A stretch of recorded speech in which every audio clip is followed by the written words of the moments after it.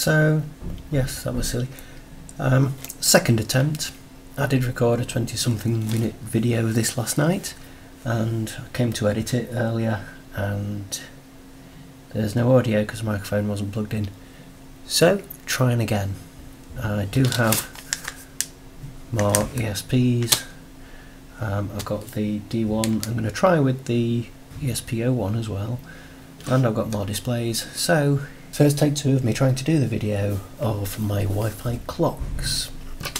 Now they're based, um, these two are based on the D1 Lite. I'm going to do another one based on the ESP01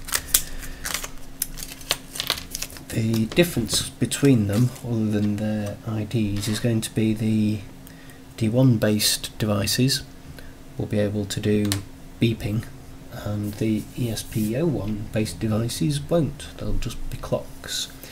Now, as well as showing the time, there's another trick that they can do. They can receive a packet from the network and display messages and beep to get the children's attention. So these two are going in the children's rooms there's no beeper attached yet, but if you imagine this is beeping,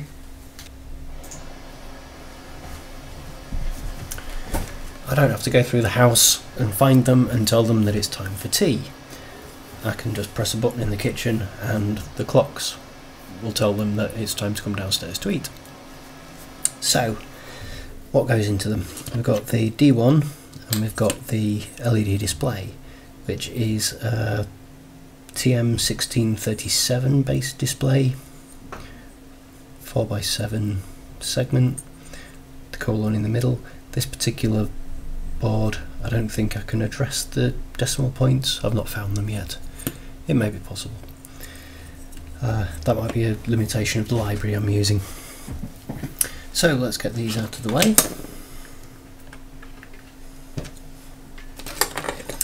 and start the construction. Now the pins I'm using for this, it's a 5 volt LED and a 3.5 volt processor, but these boards have got a power regulator on board, just here, and these are 5 volts, so what I've realised is if I put the boards one on top of the other, the 5 volt and ground line up, I can control in software which pins are clock and data. So the marked D3 and D4 on here. D3 is actually GPIO 0, D4 is GPIO 2. So if I mount that on there, also means should I need to reprogram it, I can simply bridge clock and ground on this end, power it up and it goes into programming mode. So let's get started with the assembly. This is a very old vice. It's been around a long time.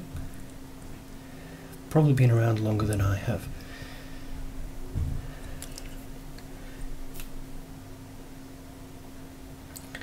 Put this in its late 40s by now. So I just need four pins.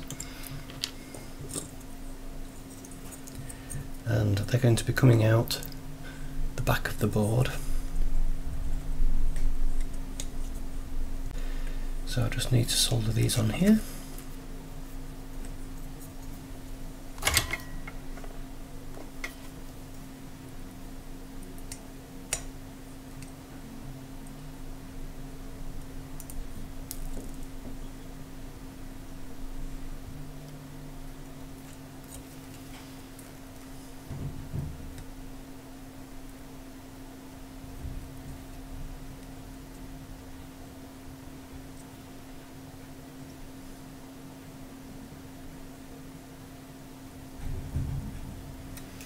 And that's the header on the LED.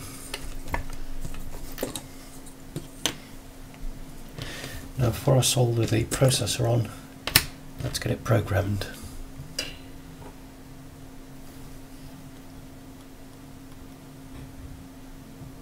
So to put the ESP into programming mode, you need to connect GPIO 0, which is D3, to ground.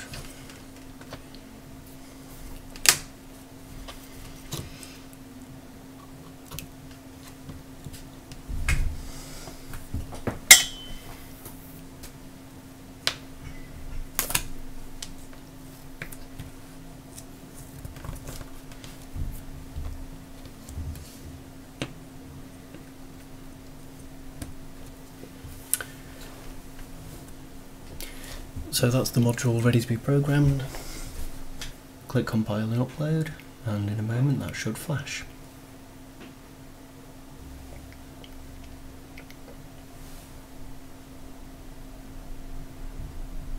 And that's that done. Now the flashing there is because the onboard LED is connected to one of the pins that I'm using to drive the LED. So, finished with that.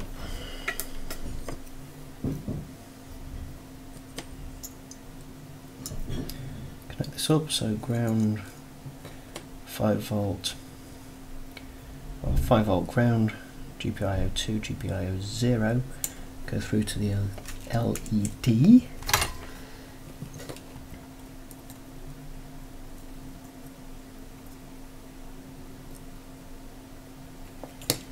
Drop a solder on the first pin, line everything up.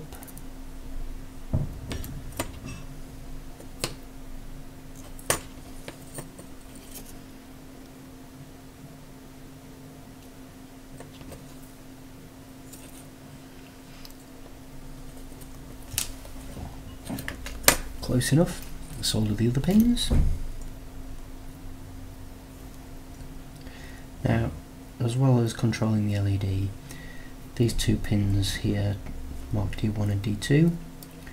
D2 is for the beeper and D1 when grounded it sets it to 12 hour clock rather than 24 hour clock.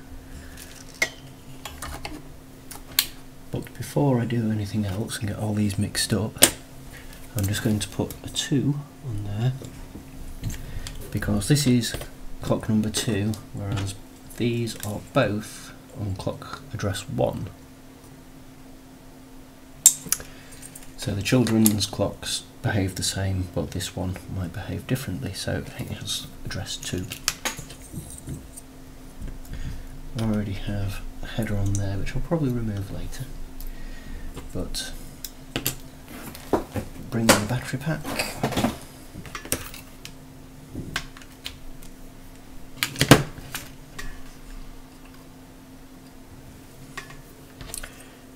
this straight in here.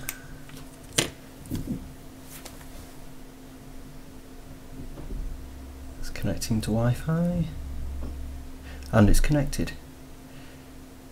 Now the server sends a periodic update.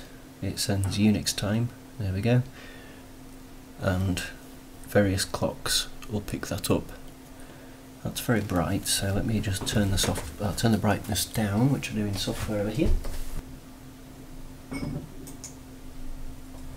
we go, so from uh, central computer I can send brightness controls, I can turn the center display on and off, I can update the clock. It'll run for several hours, only losing a second or so of time. After four hours without any contact from the server, the LEDs in the middle stop blinking. But that's about it for the hardware, incredibly simple. And I think it'd be fun to try that with the ESP01. I'm doing a load of projects to see just how much stuff you can do with only two I.O. pins on the ESP 80, uh, 8266 and these are the 8285 so it'll be interesting to try that out. Totally unrehearsed and unprepared ESP01 clock. So I'm using this breadboard because it's got 5 and 12 volt. A few leads around and I'm just making this up as I go so uh, need power I have re I have programmed this. It's uh, exactly the same software as is on the children's clocks.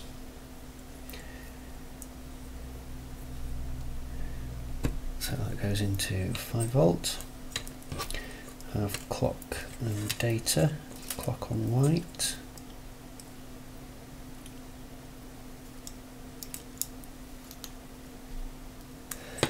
And then on the ESP01 the blue is ground, yellow is plus 3.3, and the orange is the chip enable. So chip enable and power. On the plus 3 volts, ground on ground, and then GPIO 0 is just here and GPIO 2 is here.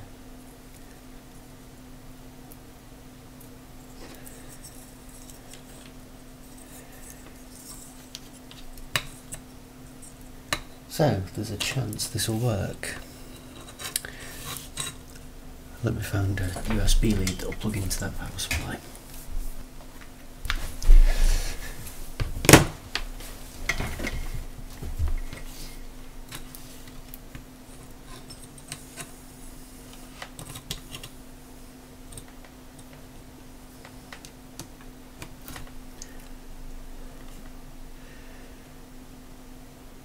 And nothing happens.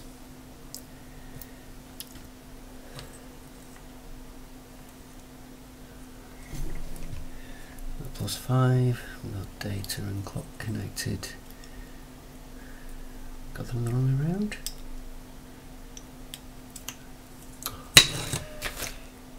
Right, so that should have worked fine, but I got my data and clockwise the wrong way around. There we go.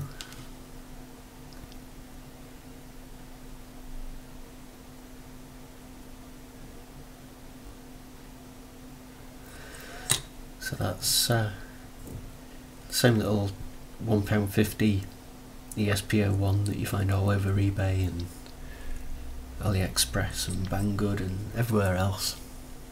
So I mentioned that we have brightness control. There's a few things that the protocol does.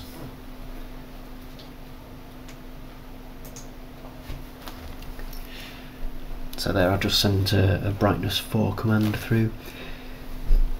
We have uh, basically one byte which controls what the clock is going to do. Usually that's display the time with the little separator digit there flashing away. But it can also control the brightness. It can override updates for 30 seconds. So if I send uh, a message through that I don't want to be overwritten by the clock if it receives a clock update in those 30 seconds do that. Um, it'll take either individual numbers sent over the network. It'll take time in Unix time format as a 4 byte stream. Individual segments, so I can draw things and just send the code to display custom characters on the screen.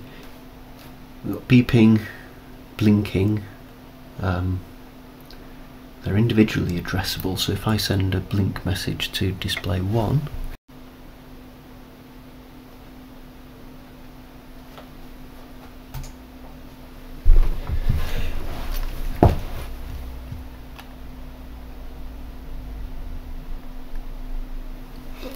There I've sent a combination of blink, ignore updates for 30 seconds, and draw in uh, custom characters and got it to flash food.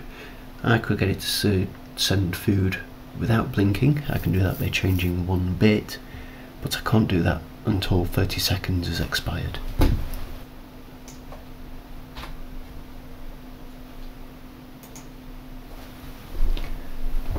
So there is the same message but without the blink bit set. The flushing separator that indicates that it's received a time update in the last four hours. So if for some reason the server doesn't keep sending out its hourly or whatever synchronization signals, at the moment it's every 30 seconds, that'll indicate that it's lost connection to the network. Similarly, when it powers up,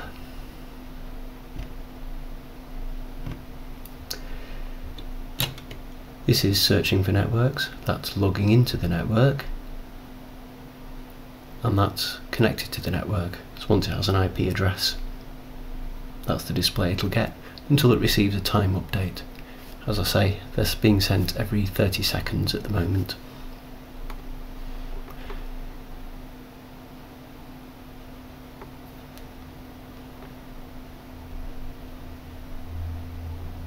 Go, it's received a time update.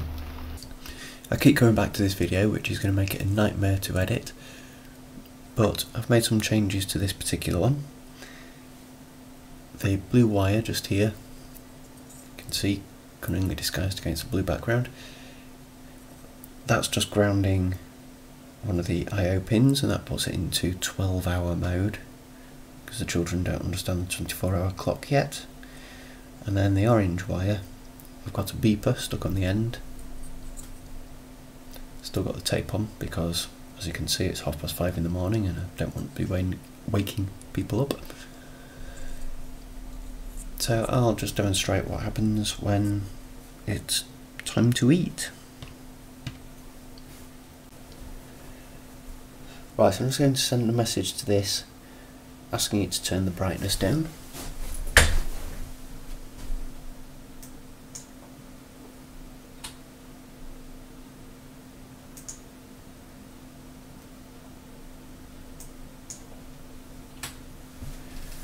And now send another message. Tell it it's time to eat